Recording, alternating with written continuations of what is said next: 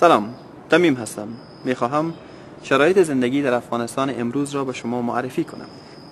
آثار جنگ در این سرزمین روز به روز کم رنگ می شود و شرایط زندگی در آن رو به بهبود است.